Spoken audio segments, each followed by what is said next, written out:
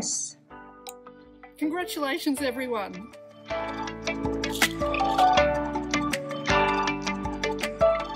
Congratulations, Media and Communication students. Congratulations, everyone.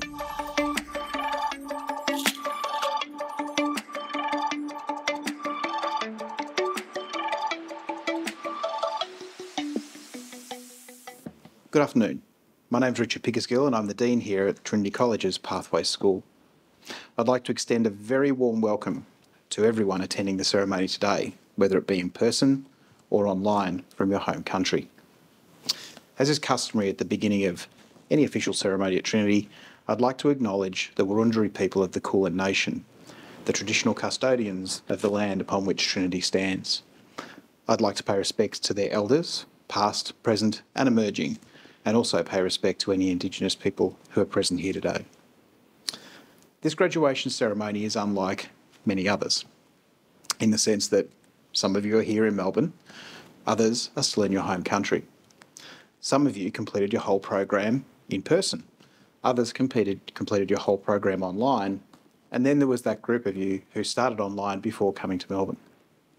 I think the thing to remember is for all of you, the persistence you've shown whatever mode of study, in completing your studies here at Trinity. You still worked hard to make it through to the end and have success within your foundation studies program. Much of what I have to say today is to you, the students of Trinity College who are graduating.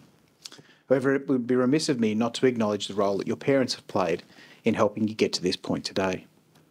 So for those family members who are watching this ceremony in person or online, I'd say thank you. Thank you for delivering us the amazing young people who are part of our um, 2022 cohorts and ready to prepare uh, for the University of Melbourne and undertake their studies at Trinity College. Thank you for being brave enough to commit to letting your most precious resource, your son or daughter, travel overseas to engage in a truly international education.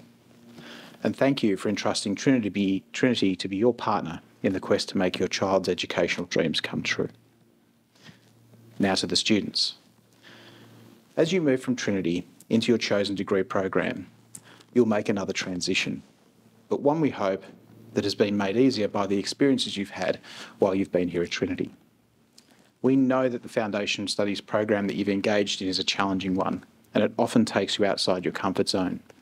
But as an academic staff, we are confident that the breadth of subjects that you've studied in the manner very similar to that which you'll encounter at the University of Melbourne will hold you in good stead as you strive for success moving forward.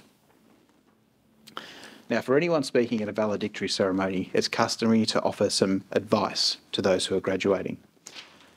So I'm going to shape my top three pieces of advice for university success to a COVID-affected reality, all while holding out the hope that you'll be able to commence and complete your degree here at the University of Melbourne.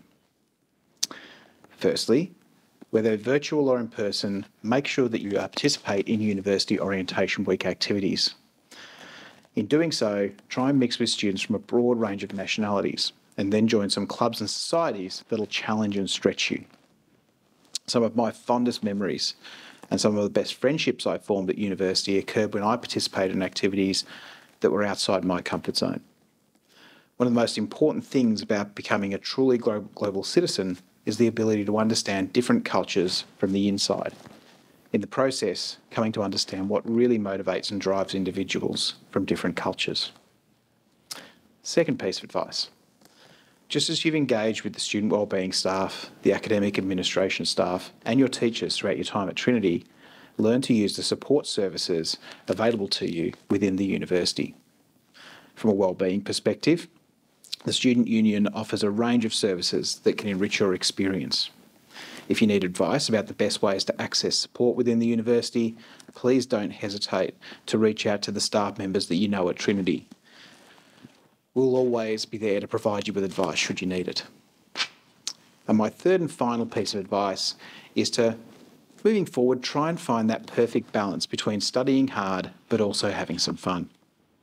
While you'll no doubt experience long nights of study and intermittent pressures to complete assignments, the university years are also the time when you have the greatest degree of freedom um, to explore what it is to be you. As you graduate from university and start work, you increasingly focus on the needs of others.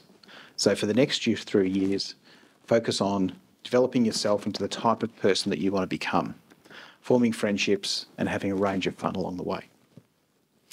So, congratulations to all of you for not only managing um, but thriving within your foundation studies program. Congratulations for making whichever transitions you did from online learning over the last few years into face to face learning and making the very best of it. And most of all, congratulations for embracing the broad liberal education program on offer at Trinity. In the process, changing the way that you view education. From all of the staff here at Trinity, we wish you every success in the next chapter of your life, and we can't wait to see you back as you move forward. I'd now like to introduce our guest speaker for tonight. Our guest speaker is the 2022 Foundation Studies Alumni of the Year. He attended Trinity in 2007. And then in 2019, he founded and became the CEO of his own business called Astro. It's a Jakarta based food delivery service, an area that's exploding in the world right now. By 2022, this year, he opened his 50th distribution location and has drivers travelling all around Jakarta delivering food for people also very well known for treating employees very well and providing them with amazing training opportunities to further their career. It's my pleasure to introduce Vincent Tjendra.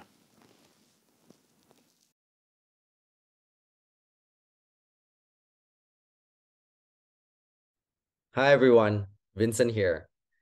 Congratulations on your graduation, a start of an exciting journey. Let me introduce myself quickly. I'm also an alumnus of Trinity College Foundation Studies 2007. After Trinity, I continued my pursuit to higher education in the University of Melbourne, uh, completing both my bachelor and master's in engineering, focusing on mechatronics. Afterwards, I moved to Sydney to work in a tech company and returned back to Indonesia where I work at a consulting firm McKinsey and a leading e-commerce company called Tokopedia. And recently, you know, starting in September 2021, me and my friends started a startup called Astro, which is a quick commerce that we deliver groceries within 50 minutes. Now, for today, the focus is you. As you embark in your next journey, I would like to share three personal stories from my side that may hopefully help you charter your own pathways. So let's get started. The first story is about pursuing your curiosity. In my late teens, I was very ambitious. I want to earn as much money as possible, as that's what typical society expects. My best friend then asked me, what's next? What would you do if you already have all the money you're looking for? And I could not answer immediately. I did know, though, that luxury items were not for me. So it took me some time to figure out. And what I realized was that I actually want to spend my time doing things that I'm interested in, the things that I'm curious about. And since then, all my life and career choices have been based on the singular focus of thinking about what you know I'm curious about and it's never it's never about financial returns. Everything spanning about moving to Sydney, Indonesia, across different industries.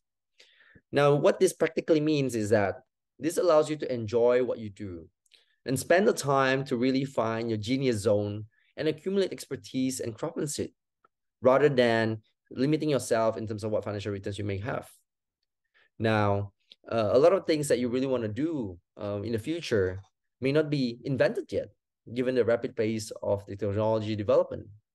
So it is very fun, it's very enjoyable as well to define your future by simply pursuing your curiosity. So hopefully that first story helps you. Now, on to the second story. Enjoy the adventure, all the ups and downs. We did talk about the second first story, which was about the future by pursuing your curiosity. Now, the adventure basically means what is the present to future? What's the process like? So a bit of a story about myself. Astro is the sixth startup I've joined or started. Two of them fortunately went public and achieved some great success by public standard. However, three failed. Uh, for every single failure or closure, though, I learned a lot of things and it helped, help shape uh, who I am today. Now, don't get me wrong, every single one of them was very painful. Now, after going through all these cycles of ups and downs uh, several times, I realized that as society tend to reject or see failures as taboos. But in fact, it's part of life, right? If you want to achieve some highs, you need to be able to embrace the lows. Once I realized this, it liberated me from fear, fearing failure. In fact, it allowed me to be more courageous. I would move on to next adventure in life whenever I felt I'm already at comfort zone, uh, especially for startups uh, that I've started. Um, you know, I save up a lot of money to be able to make sure I'm my own personal runway uh, to give it a shot. Uh, in the worst case, you know, knock on wood, if things didn't work out, I would have come back to work, save up again, and start all over again, because that's something that I believe uh, is part of the adventure of ups and downs. Now, the third story is about yourself or ourselves. It's about embrace being different. I've always been the nerd of the classroom, the introverted one that will raise his hands in classrooms asking questions to teachers. Now, for a good first half of my life, I felt different from the cool friends that, you know, around me. And I did not like being different because it was uncool, uh, sort of being different. Um, and after going through uh, all that pursuing of curiosity, I realized that, you know, in the adventures, actually it's good to be different. Improving the world means we need to make something different. We need to push the status quo to be a better state. So I would encourage everyone to embrace being different, right? Your past, your present, it's all about you, right? Don't fear being different. Now, by embracing it, it may enable you to nudge the world to become a better place. Uh, hopefully, that's something that you can do. These are the three stories and learnings that hopefully resonate with you uh, and help you in years to come. Just want to say congratulations again to your graduation. I look forward to your exciting adventures uh, and you know see you around. Take care. As part of any graduation ceremony, we always have some performances, usually musical. So now I'd like to introduce you to our guest performers for this evening. Colin Leonardo, and Tiffany Zhao.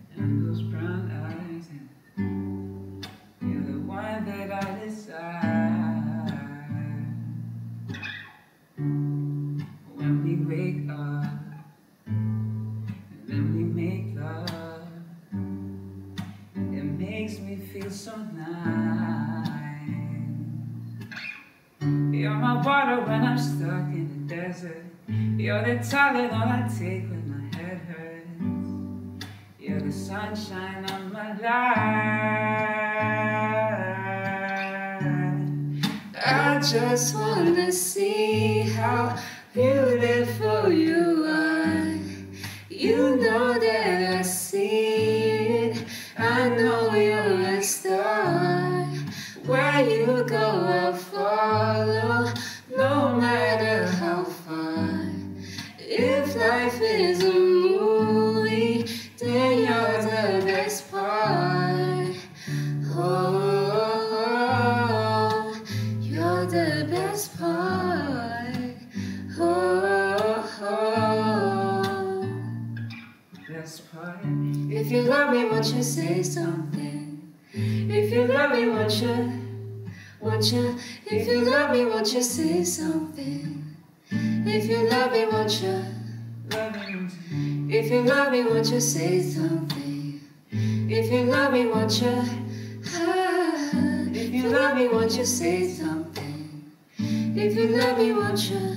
what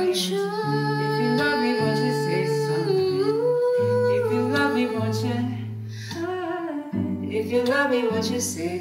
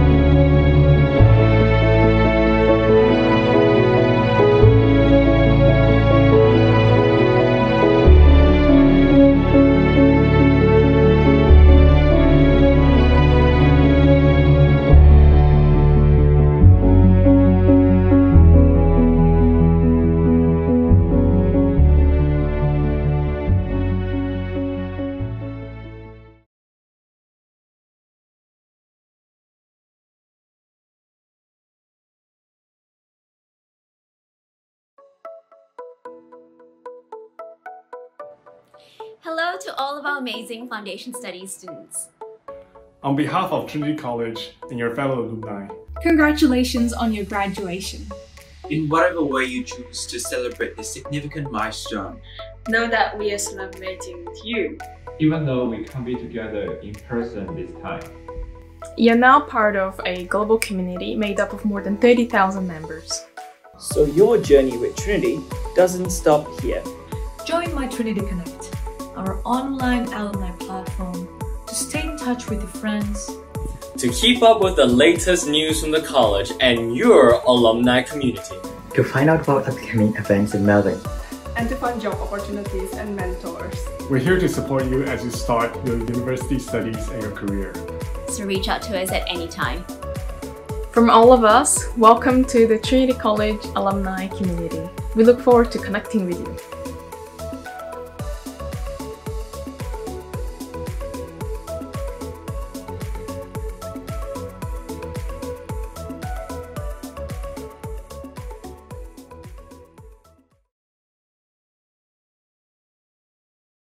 Hello, my name is Jennifer Sutejo, and I am one of your January Comprehensive 2022 valedictory speaker of the graduating class of 2022. Hi, I'm Jenny, and I'm one of your January Comprehensive 2022 valedictory speakers for the graduating class of 2022. Hi, I'm Vivian Sutiono, and I'm here today as one of your January Comprehensive valedictory speaker of the graduating class of 2022.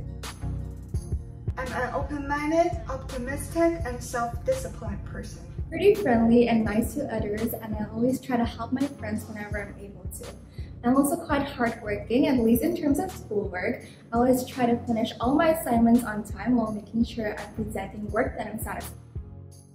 Kindness, consistency, hard work, dedication, teamwork, ambition, and expressiveness. These are the qualities in which I possess and would admire other people to possess these. I chose Trinity because it's the most guaranteed and reliable pathway to the UniMel. Trinity College is located in Victoria, which is known as the state of education, so you will undoubtedly get the best resources here. And It is because I have an older sister who graduated from Trinity College two years ago. She told me many great things about this place, so that was another encouragement for me to enter Trinity College. At first, I didn't really know much about Trinity College. After looking through several foundation studies and hearing good suggestions, from my agents and friends, I found out that Trinity College actually checked all my boxes for my ideal foundation studies. I'd be lying to myself if I said that this year was simply rainbows and unicorns because that definitely was not the case. Each subject has its own level of difficulties and I feel like for every test and assignments I had to work on, it was extremely tough, especially for Hoi. I remember every time there's an essay due a few weeks before the due date, that's when I'll start panicking and running back and forwards to my tutor and going on and on about the fact that I have no idea what to write or even how to start because I have absolutely nothing prepared. This year has been a difficult one as we have to face the process of moving from online classes to offline. However, although the process was sort of challenging, it didn't make me give up. But it's worth mentioning that I did feel like giving up. On getting frame and keys to give someone else a go at the table tennis table. During my time in Trinity College, there's been numerous occasions in which I felt like giving up, mainly due to the global pandemic and also the fact that I'm attending classes online, which limits and restricts my interaction between my fellow classmates and teachers and I'm also unable to participate in offline events such as Trinity Gateway Barbecue in which offers free food, which I miss. In the last two months, something I have learned about myself is that when faced with much unfinished work, don't feel panic. It's better to use the weekend to take a two-day break and resume when I have enough energy. Although I'm aware that I need to start working harder, especially since exams are coming up, I've learned to be more independent, organized, and properly prepare my notes with the help of my tutors. During the last two months, I've learned that through communicating between my fellow classmates, teachers, and seniors is really beneficial and helpful for me in both the social and academic aspects.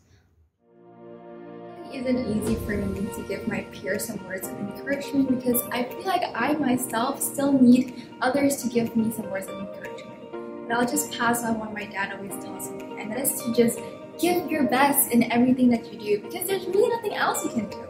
And always remember that you're not alone because you can always ask for help or support whenever you need it. Don't stress about the obstacles that lie ahead. Just relax and go for it. Give yourself a reset day when you are feeling particularly down. Then try your best. The outcome will be the best for you. To my fellow peers, the future may seem vague and intimidating, but it's okay. You're not alone.